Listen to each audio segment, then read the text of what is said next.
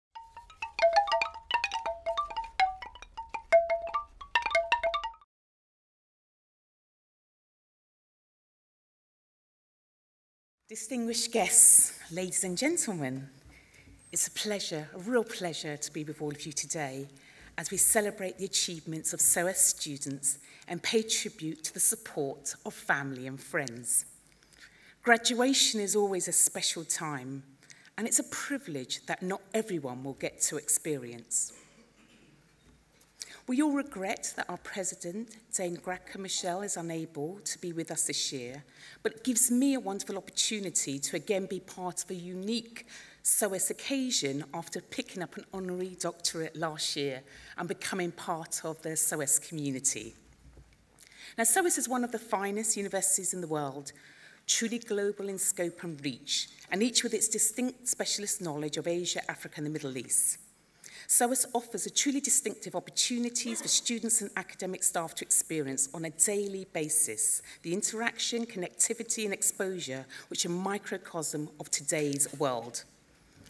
For more than 100 years, SOAS has been at the forefront of specialist scholarship on the languages, cultures, societies, politics and economics of Asia, Africa and the Middle East – And it's really rare to find a place with such a rich diversity of cultures and backgrounds, and where learning and critical thinking are nurtured and enhanced. What makes SOAS particularly special is its global perspective. Our world needs people who can build bridges across communities and cultures to bring people closer together. Now, to the graduates, I'd like to say that the SOAS Foundation has further shaped you into unique individuals that you can be proud of and that will help you to make your mark on the world. We're also very unique, so be proud of who you are and the impact you can make.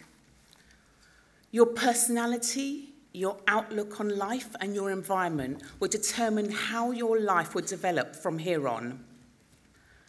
Looking at my own situation and that of the mobile organisation that I run, all our important work with cultural diversity stems from my own background.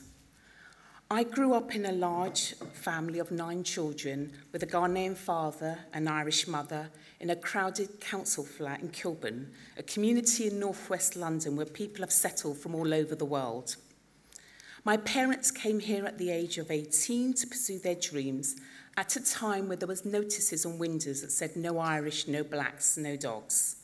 It really was a very, very bleak period for them, with not only discrimination being rife, but also the move to a new country away from family, friends, and their support network. This further turned this into a very isolating existence. Now, two things shaped my destiny as a young girl growing up. One was being written off by my teachers and friends when I became a parent at a young age of 16. And the second was the advice I was given by a careers officer when I went to see her to discuss the choices I had in my life. I told her I wanted to start my own business one day and become independent. And I was told that I would do better if I was more realistic about my career options and that if I worked hard enough, I might be able to eventually work my way up and become a ma manager at Sainsbury's. And that should be my goal. Although this is an honourable profession, it was not what I wanted to do.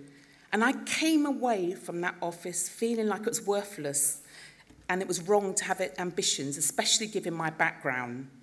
It was around this time that I ventured out on my own, determined to pursue my own goals. And from then, I decided who I was destined to become was who I decided to be.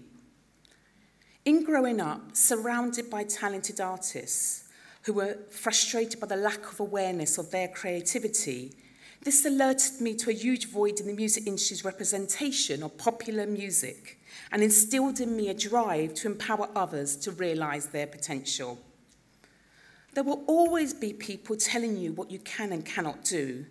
These people will also play an important role. They motivate you to rise above, to challenge yourself, to prove them wrong. I realised that I could either follow the same path as everyone around me, or I could venture out of my comfort zone, write my own story, and create my own path.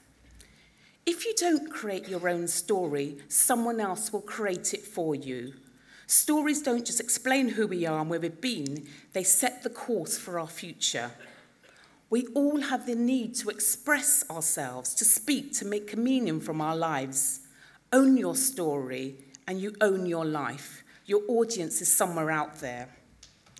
My message to you is to really be proud of who you are. You have a unique set of skills and talents, and there are certain things that you do better than just about anyone. Believe in your greatness and your abilities and the amazing foundation that SOAS has given you. The one thing that you have that nobody else has is you. Your voice, your mind, your story, your vision. So write, build, design, speak, and live a life that only you can. In short, we most regret thinking we didn't reach our full potential.